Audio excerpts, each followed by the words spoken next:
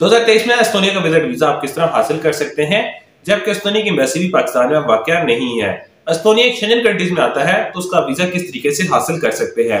अस्सलाम वालेकुम to my YouTube channel visa consultant vlogs visa consultant vlog साथ मैं हूँ आपका दोस्त जिशान सदीक अगर अभी तक आपने हमारा यूट्यूब चैनल सब्सक्राइब नहीं किया तो आपसे रिक्वेस्ट है, हमारा यूट्यूब चैनल सब्सक्राइब कर ले और साथ में लाइक लाजमी प्रेस कीजिएगा, ताकि हमारा जब भी लॉग हो वीज़ा इन्फॉर्मेशन हो और पास टाइम बाय टाइम पहुँच सकें। आज के इस में हम बात करेंगे एस्तोनिया विज़िट वीज़ा के बारे में? अगर आप एस्तोनिया का विज़िट वीज़ा हासिल करना चाह रहे हैं और आपको इन्फॉर्मेशन चाहिए तो इस वीडियो को एंड तक देखिएगा ताकि आपको सारी इन्फॉर्मेशन इस वीडियो से मिल सके। एस्तोनिया शेंजन कंट्रीज़ में आता है।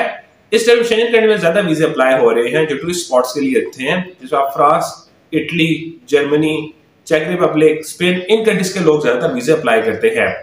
जबकि लिथोनिया एस्तोनिया स्लोवाकिया स्लोवेनिया ये भी शेंजन कंट्रीज़ में आते हैं।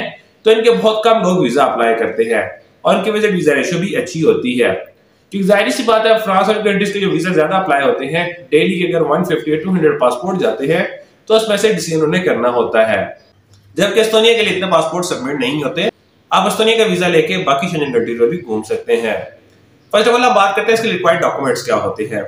एस्तोनिया के रिक्वायर्ड डॉक्यूमेंट्स होते हैं उसमें आपका पासपोर्ट पासपोर्ट आपका सिक्स मंथ वैलिड होना चाहिए और इसमें ब्लैंक पेज होना चाहिए।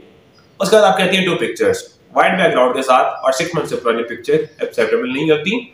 35 बाय 45 जो एक्सटेंडेड साइज़ है शेंजन कंट्रीज़ के लिए।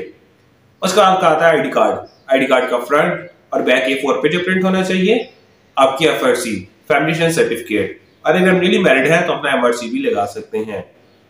उसके बाद आप कहते हैं टैक्स डॉक्यूमेंट्स जिसमें आपका एफपीआर एनटीएन और लास्ट एक से दो साल के आपके टैक्स रिटर्न आते हैं। उसके बाद आप कहती हैं पासपोर्ट कॉपीज पासपोर्ट का फ़र्स्ट पेज सेकंड पेज और ऑल यूज़ पेजेस या तो जिसके ऊपर वीज़ा स्टिकर हुए हैं, या इमिग्रेशन नाउ की स्टैंप्स लगी हुई हैं, वो आपको कॉपीज करवानी पड़ती हैं ए फोर पेज साइज़ पे और जहाँ तक बात अगर आप एम्प्लॉय हैं, या बिज़नेस मैन के लिए कौन से डॉक्यूमेंट चाहिए होते हैं? एम्प्लॉय के लिए एम्प्लॉयमेंट लेटर एनओसी और लास्ट मंथ की सैलरी स्लिप्स एनओसी बेसिकली कहते हैं नो ऑब्जेक्शन सर्टिफिकेट को. कि आप जिस कंपनी में काम कर रहे हैं, उसको कंपनी आपको लीव ऑथराइज की हुई है, कि आप आउट ऑफ़ कंट्री ट्रेवल करके वापस पाकिस्तान आएँगे और अपनी जॉब ज्वाइनिंग देंगे। और जहाँ तक बात है, अगर आप गवर्नमेंट एम्प्लॉय हैं तो उसके लिए कौन से डॉक्यूमेंट्स चाहिए होते हैं? गवर्नमेंट एम्प्लॉय के लिए एम्प्लॉयमेंट लेटर लास्ट मंथ की सैलरी स्लिप चाहिए होती है, लेकिन गवर्नमेंट के अपने डिपार्टमेंट से आपको एक्स पाकिस्तान लीव लेटर चाहिए होता है, जो आपको या तो आपके डिपार्टमेंट का हेड या डायरेक्टर्स आपको इशू करते हैं, आपको एक्स पाकिस्तान लीव लेटर भी चाहिए होता है। और जहाँ तक बात है बिजनेसमैन के लिए बिजनेसमैन के लिए बिज़नेस लेटर साइन के साथ business visiting card business FIR NTN business chamber certificate business tax return दो से तीन साल के और अगर आपका बिज़नेस किसी और फर्म में रजिस्टर्ड है एसएससीपी में, या फ़ूड से रजिस्टर्ड है फ़ूड कोर्ट से तो आप वो सर्टिफिकेट भी साथ में अटैच कर सकते हैं।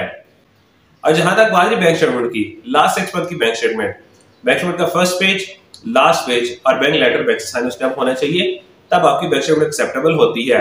और सेवन डेज़ से पुरानी बैंक स्टेटमेंट एक्सेप्टेबल नहीं होती किसी भी कंट्री के लिए। और इसमें क्लोजिंग बैलेंस होना चाहिए, और जो सैलरी है आपके अकाउंट में आनी चाहिए, या आपको कैश होनी चाहिए, वो बैटरी में जो होता है सैलरी अगर आपके अकाउंट में आ रही है तो बैटरी में जो होता है कि आपकी सैलरी स्लिप है, वो वेरीफाई हो सकती है कि आपके अकाउंट में सैलरी आ रही है तो वेरीफाइड हो सकती है। अदरवाइज़ ये है कि जब आप अपना एम्प्लॉय लेटर बनवाते हैं तो उसमें आपको मेंशन करवाना पड़ता है कि सैलरी आपको बाई कैश मिलती है, उसके बाद अपने अकाउंट में डिपॉजिट करते हैं। और इसका क्लोजिंग बैलेंस कितना होना चाहिए? मिनिमम जो है, आठ से दस लाख आपके अकाउंट में होना चाहिए। और जहाँ तक बात है बिजनेसमैन बिजनेसमैन के लिए दस से बारह लाख अकाउंट में होना चाहिए। और फिर भी अगर उससे ज़्यादा बैलेंस है, वो डिपेंड करता है अपने बिज़नेस की वर्थ पे, लेकिन मिनिमम आठ से दस लाख आपके अकाउंट में होना चाहिए, जो एक अच्छा बैलेंस कंसिडर किया जाता है। और इसके बाद अगर एडिशनल डॉक्यूमेंट्स आप प्रोवाइड करना चाहते हैं एडिशनल डॉक्यूमेंट्स भी आप दे सकते हैं। इसमें आपके प्रॉपर्टी डॉक्यूमेंट्स आ जाते हैं, कोई कमर्शियल कोई रेजिडेंशियल प्रॉपर्टी आपके नाम पर है क्रेडिट कार्ड की बैकशॉट आप यूज़ कर सकते हैं, कोई रेंटल इनकम आपके अकाउंट में आ रही है, जैसे घर फ्लैट या कोई शॉप आपने रेंट पे दी हुई है, उसकी रेंटल इनकम आपके अकाउंट में आ रही है तो वो डॉक्यूमेंट्स भी आप साथ में अटैच कर सकते हैं। और हम बात करें इसके डॉक्यूमेंट्स कहाँ पर सबमिट होते हैं, क्योंकि एस्तोनिया की एम्बेसी पाकिस्तान है, वाक्य नहीं है। इसको कौन सी एम्बेसी डील करती है एस्तोनिया का वीज़ा देने के लिए? एस्तोनिया का वीज़ा हासिल करने के लिए इसको हंगरी एम्बेसी डील करती है और आपके डॉक्यूमेंट्स हैं, हंगरी एम्बेसी में सबमिट किए जाते हैं और उसके बाद वहाँ पर इसका प्रोसीजर होता है। एस्तोनिया विज़िट वीज़ा की अपॉइंटमेंट होती है और जिस दिन अपॉइंटमेंट आपकी होती है, उस दिन आपको हंगरी एम्बेसी में जाकर अपने डॉक्यूमेंट सबमिट करवाने पड़ते हैं। अपॉइंटमेंट लेने का तरीका पहले थोड़ा डिफरेंट था, लेकिन अब वो चेंज कर दिया गया है। एस्तोनिया का वीज़ा हासिल करने के लिए एम्बेसी की ईमेल पे आपको एक ईमेल करनी पड़ती थी पहले, जिसमें आप अपनी पासपोर्ट डिटेल्स अपनी आईडी कार्ड डिटेल्स उसके बाद आप अपना जो ट्रैवल है, उसकी डिटेल्स आप एंटर करते हैं और आप एम्बेसी को एक ईमेल करते थे। उसके बाद एम्बेसी आपको ईमेल पर रिप्लाई बैक करती थी और आपको एक डेट देती थी। उस डेट में जाके आपको अपने डॉक्यूमेंट्स हिंदी एम्बेसी में सबमिट करवाने पड़ते थे। लेकिन अब इसका प्रोसीजर चेंज हुआ है। अब इसका प्रोसीजर चेंज होने के बाद हंगरी एम्बेसी की वेबसाइट पर आप जाते हैं। वहाँ से जाके आप ऑनलाइन अपॉइंटमेंट बुक करते हैं। एस्तोनिया लिथोनिया और हंगरी, ये तीनों एक एम्बेसी होती है जो हंगरी एम्बेसी को डील करती है लिथोनिया और एस्तोनिया को भी। तो इसकी अपॉइंटमेंट आप हंगरी एम्बेसी वेबसाइट पर जाते हैं, वहाँ से जाके आप ऑनलाइन बुक करते हैं और जिस दिन आपकी अपॉइंटमेंट होती है, आप पर्सनल अपीयरेंस पर वहाँ पर जाकर अपने डॉक्यूमेंट सबमिट करवाते हैं। और जहाँ तक बात इसका प्रोसेसिंग टाइम कितना है?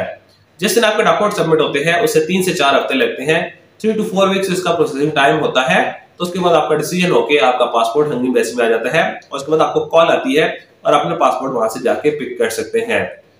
और जिसके लिए अप्रूव्ड वैक्सीनेशन है डब्ल्यूएचओ से जो अप्रूव्ड वैक्सीनेशन है Pfizer Moderna AstraZeneca Sinopharm Sinovac vaccination शामिल है। अगर आपको साइनोफार्म साइनोवैक वैक्सीनेशन हुई है तो कोशिश का बूस्टर डोज लगवाएँ और उसके बाद अपना वैक्सीनेशन कार्ड बनवाएँ। तो इस तरीके से आप एस्तोनिया का विज़िट वीज़ा हासिल कर सकते हैं, क्योंकि एस्तोनिया के बहुत कम लोग वीज़ा अप्लाई करते हैं तो इसकी वजह से वीज़ा लगने के चांसेस भी ज़्यादा होते हैं। जो ज़्यादा लोग अप्लाई करते हैं वीज़ा से फ्रांस जर्मनी नीदरलैंड कंट्रीज़ का वीज़ा अप्लाई करते हैं तो इस तरह बहुत कम लोग अप्लाई करते हैं। तो ये सारे डॉक्यूमेंट्स आप रेडी करके आप एस्तोनिया का विज़िट वीज़ा हासिल कर सकते हैं पाकिस्तानी पासपोर्ट पर। हमने सोचा एक वीडियो बना के अपने यूट्यूब के साथ ये सारी इन्फॉर्मेशन शेयर कर दी जाए कि किस तरीके से आप एस्तोनिया का विज़िट वीज़ा हासिल कर सकते हैं। और आखिर में आप हमें कमेंट सेक्शन में आप इंडिया के बारे में ज़रूर कीजिएगा कि नेक्स्ट हम किस कंट्री के विज़िट वीज़ा वर्क वीज़ा या अपॉइंटमेंट के बारे में आपके साथ इन्फॉर्मेशन शेयर करें। या तो स्क्रीन पर कॉन्टेक्ट नंबर पर आप हमारे साथ रब्ता कर सकते हैं अदरवाइज़ आप हमारे ऑफ़िस विज़िट कर सकते हैं। Mall Express and Holidays Private Limited Islamabad D Chowk हमारा ऑफ़िस है तो आप हमारे ऑफ़िस विज़िट कर सकते हैं, ताकि हम आपको ट्रेवल से रिलेटेड बेस्ट सर्विसेज़ प्रोवाइड कर सके। Thank you so much